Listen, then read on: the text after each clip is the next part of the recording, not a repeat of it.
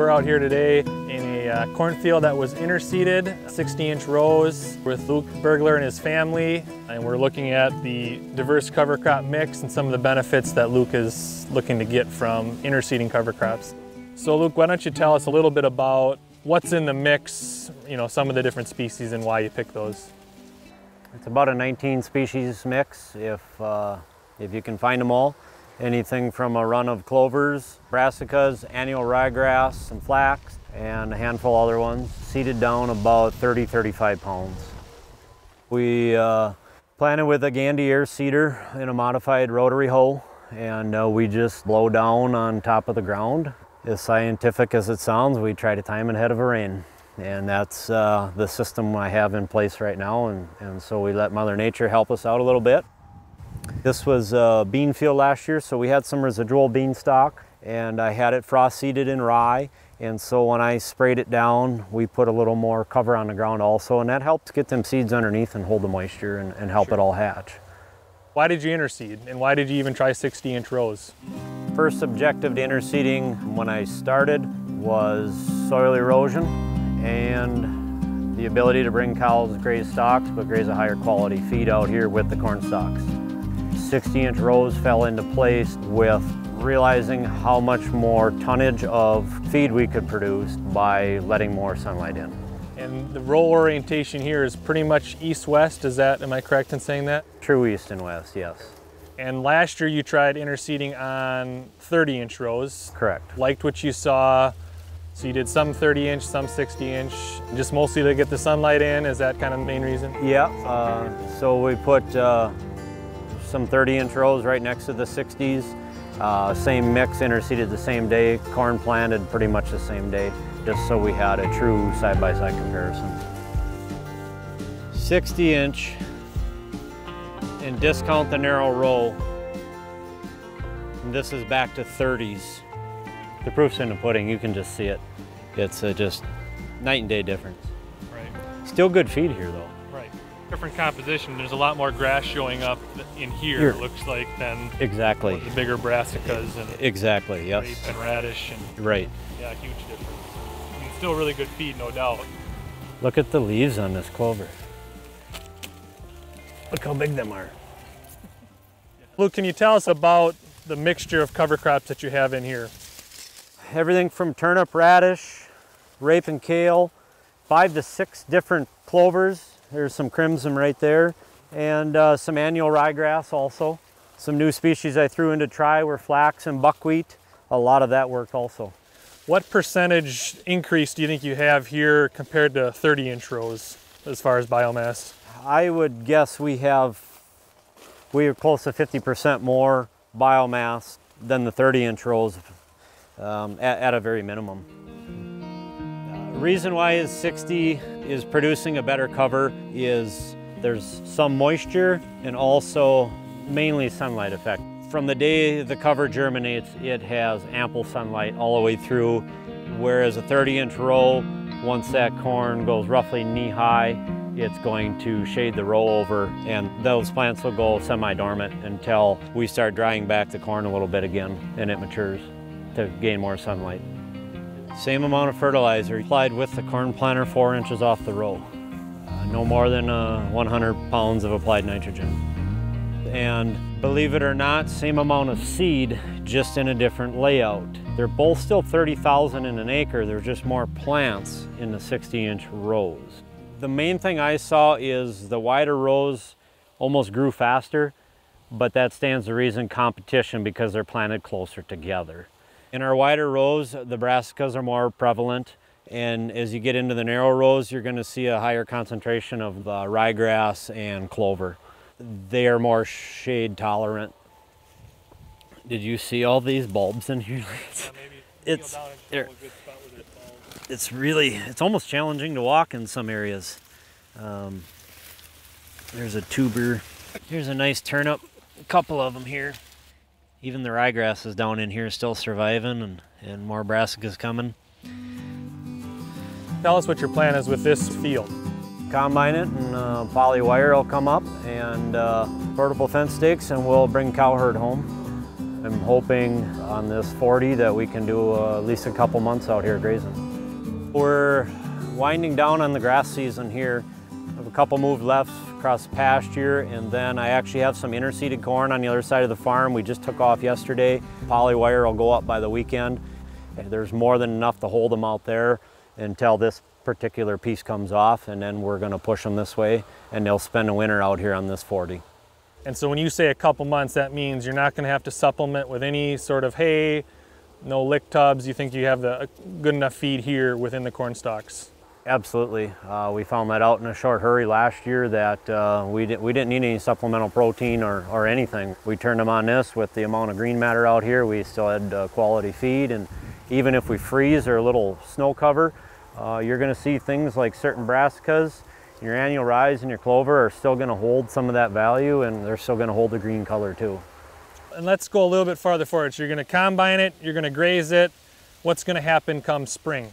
Spring of 21, uh, as of right now, we're going to come in no-till drill, probably a barley oat and field pea mix, no-tilled in. And one of the main reasons is for that pulling back on some chemical and the kind of chemical I use to have the ability to interseed. If we take the oat barley pea mix as a feed, we can combat any weeds that are out here right now that may have left seed behind. So some of those like water hemp and some of those that you might have. Yep, water hemp, uh, a little lamb's quarter, you know, and, and I won't deny that there's not weeds out here. But I think with putting a feed crop behind it, where we can pull a cutting off, we can hopefully get some of them to germinate and take them with us. So some of the species you mentioned, you know, we have some radishes, you got a whole, actually a bunch of different brassicas out here, but you know, there's some pretty hefty size to these. You know, the, the cows aren't just gonna eat, you know, the tops, they're obviously gonna... They're gonna be digging for them. Right. Mm -hmm. You have, you know, 60 inch rows here, but it's not just cow feed. I mean, you're attracting wildlife like you haven't seen. You have more deer probably in here than probably even expected. Just as a measure, directly behind us, we're uh, just off the side of a waterway. I had a game camera in here and I finally took it out because I was doing seven to 800 pictures a day of just deer walking back and forth in here. Directly behind us over the hill, there are uh, my first attempt at raising honeybees and uh, making honey. You can see some flowers in here yet, um, but we've had a flowering crop in here all year and just the amount of birds. It just benefits everything right down to the soil health also. Luke has a lot of the different soil health principles at play as far as armoring the soil, you're minimizing, you know, disturbance as far as no-till, the corn was planted no-till. We just dug this up and, you know, I have purple top turnip, but what really caught my eye was that nightcrawler, you know, what I would call an underground conduit that takes water from the surface and straight yeah, down into subsoil. Yeah. And, and look at all the fine fibers coming off all of the covers, really helping with compaction and aerating the soil also. Mm -hmm. You know, the soil has a ways to go. You can still see the compaction some of the layers. planes there. Yeah. Uh, but as it gets more like cottage cheese, you know, it'll stay. Here's a. There's a worm right there. So, you're already starting to see some improvements. You know, like just roots that are going straight down and cycling nutrients down in the subsoil profile, mm -hmm. and yeah. Isn't this the flax here? Yep, flax in the seed. Actually, here's the neat. Watch this. Here's his pods, and if I grab a dry pod and crush him up, you can see his seeds come out right there. We made a big batch of chicken feed out of that this year. I only had a few acres just as a test run, and I'm gonna say off a few acres, we pulled probably 180 bushels, so it did roughly 60 bushel the acre. It was a nurse crop ahead of a new seeding alfalfa field, is what it was. I had nine species in there, and uh, I got all nine to hard grain, and we swathed and combined it. Worked very well. We ground it in a hammer mill and cut it with a little bit of corn every day and, and feed some of that. And it brought my feed costs down tremendously and gave my ground a little different rotation. There's about 40 hens there and about 15, 20 of them are young hens just coming into production. You know, there's guys trying to market seed or as feed, you know, a grain for uh, either poultry feed or livestock feed. The sky's the limit. I think your imagination is uh, the biggest limiting factor. If I'm here with my wife Holly and my three daughters, Willa, Malia, and Emery. They are 11, 9, and 5. They're a big help. Everything from uh, picking the occasional rock to, to rotating cows. It's been an interesting summer. We did a lot of rotations on a 24-hour schedule. We are uh, constantly pulling fence and building fence. To get them even a little more excited, I have them started with a small flock of laying hens. They show a big interest. And to keep things fun, I brought each of them a goat home. There's a method behind that madness of owning goats, and for me, is next year we're gonna move them into some of my woodlands to help manage some of the invasive species, your buckthorn, your prickly ash and stuff. And I wanna try my hand at doing that in a way that isn't mechanical and so time consuming. Every farmer's hope that one of their kids wants to take over.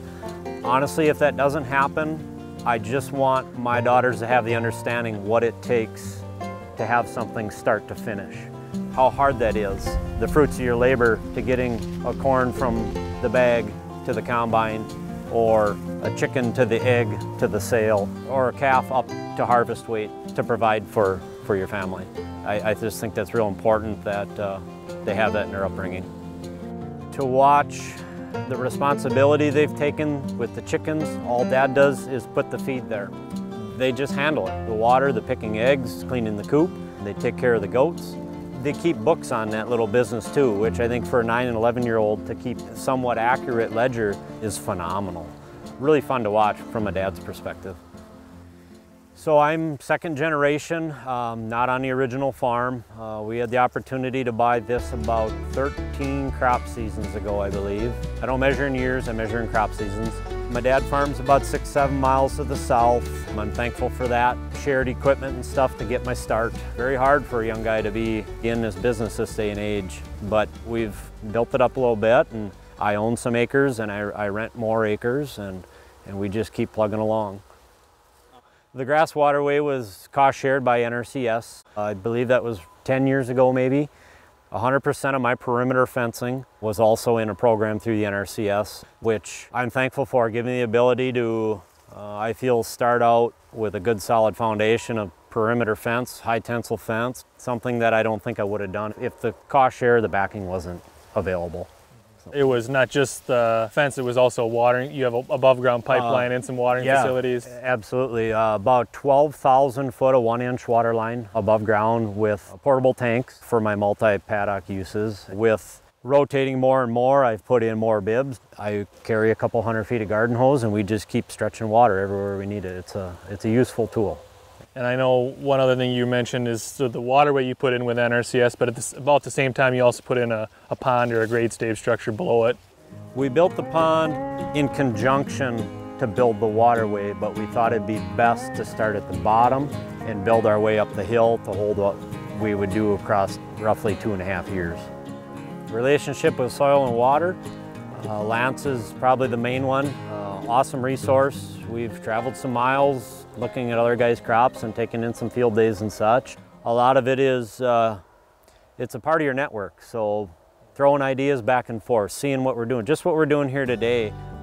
Tell us about this waterway. You did this with the local NRCS office. Yes, sir. Uh, we did it in two stages. Um, took about two and a half years. They basically started from scratch and we built a big pond below it. A good project overall.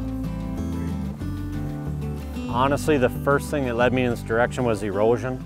We were in multiple wet years and just fixing ditches, fixing waterways, just things weren't working.